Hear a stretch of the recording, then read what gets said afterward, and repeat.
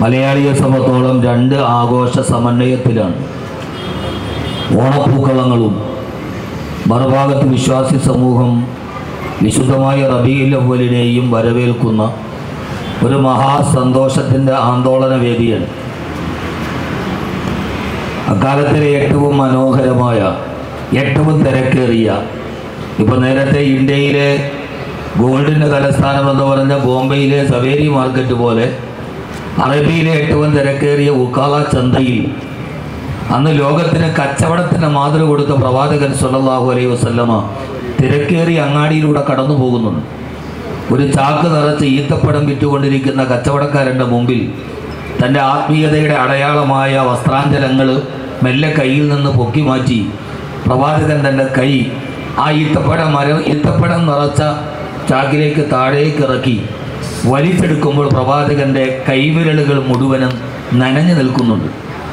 വളരെ രൂക്ഷമായി തന്റെ അനുയായ കച്ചവട കച്ചവടക്കാരന്റെ മുഖത്തേക്ക് ദേഷ്യഭാവത്തോടെ തീഷ്ണമായി നിൽക്കുമ്പോൾ പേടിച്ചു വരച്ച മനുഷ്യൻ ഹബീബിനോട് പ്രവാചകനോട് പറയുന്നുണ്ട് അസാബുഹുൽ മത്തറു യാ റസൂലല്ല നബിയെ മഴ നനഞ്ഞതാണ് രണ്ട് സാധനം ഒരേ ക്വാളിറ്റിയാണ് നനഞ്ഞത് ചാക്കിന്റെ അടിയിൽ ഒളിച്ചു വെച്ച് ഉണങ്ങിയത് വിറ്റു എന്ന് മാത്രമേ ഉള്ളൂ ക്വാളിറ്റിയിൽ വ്യത്യാസമില്ല.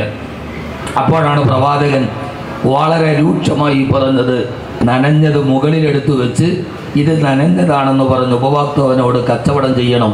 ആ താജിർ സദൂഖ് നിനക്ക് ഞാനൊരു സന്തോഷ വാർത്ത പറയട്ടെ.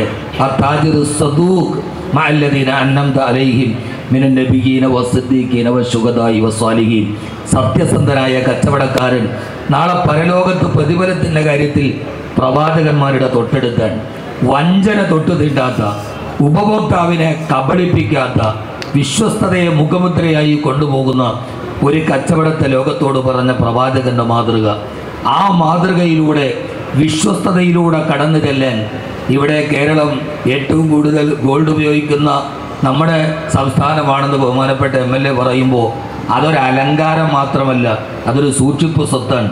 അവരുടെ ജീവിതത്തിന്റെ സാമ്പത്തിക ഭദ്രതയുടെ അടയാളമായി മെല്ലെ മെല്ലെ തരിപ്പൊന്നുകൾ ചേർത്ത് വെച്ച് അയൽക്കൂട്ടത്തിൽ നിന്ന് ലോണെടുത്ത് മേടിച്ചു വെക്കുന്ന സ്വർണാഭരണം സാമ്പത്തിക അടിത്തറയായി മലയാളി മനസ്സിലാക്കിയത് കൊണ്ടാണ് അതങ്ങനെയായത്. അൽ തെരു ഗോൾഡ് ആൻഡ് ഡയമണ്ട്സ്. കല്ലമ്പലത്തേക്ക് കടന്നു വരികയാണ്. ഡോക്ടർ മുഹമ്മദ് മൻസൂർ അബ്ദുസലാം അദ്ദേഹത്തിന്റെ കച്ചവടത്തിന്റെ സാധ്യത ഗോൾഡ് ഒരു വല്ലാത്ത സാധ്യതയാണ്. ഇത് നമുക്കറിയാത്ത കാണാപ്പുറങ്ങളുടെ ബിസിനസ്സാണ് ഞാനൊരു ബിസിനസ്സുകാരനല്ലാത്തതുകൊണ്ട് പറയുന്നില്ല. എന്ന് പറഞ്ഞാൽ കയ്യിൽ വെറുതെ ഇടുങ്ങിക്കിടക്കുന്ന മോതിരത്തിന് വെറുതെ കസേരയിലിരുന്നാൽ മൂല്യം കൂടുന്ന ഒരേ ഒരു സാധനം ഗോൾഡാണ്. റഷ്യ ന്യൂക്ലിയർ പ്രഖ്യാ പ്രയോഗിക്കുമെന്ന് മിനിങ്ങാന്ന് പറഞ്ഞതേ ഉള്ളൂ.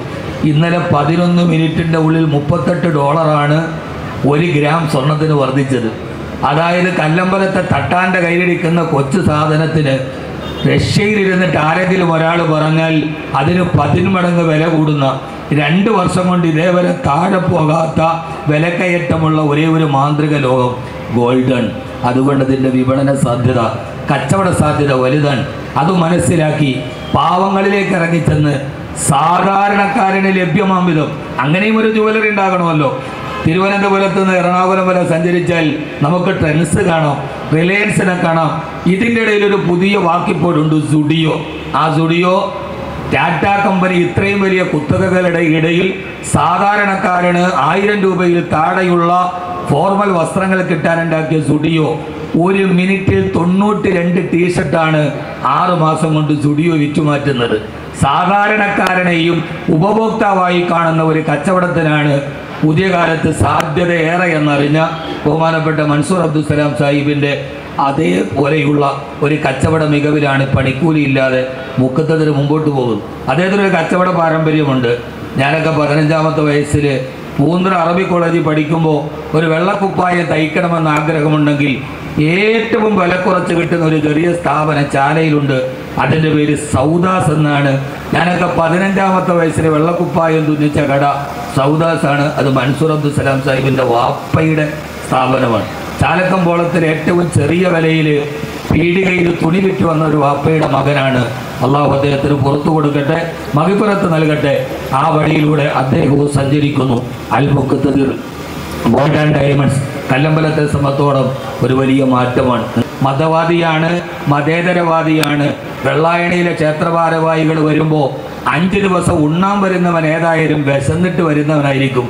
ഒട്ടിക്കിടക്കുന്ന വയറിന്റെ വാരിയലിന്റെ ഇടയിൽ അവന്റെ മതം തിരയുന്നവൻ മനുഷ്യനല്ലെന്ന് മനസ്സിലാക്കി ഒട്ടിയ വയറുമായി വരുന്നവൻ അന്നം കഴിക്കാൻ വരുന്നവനാണ്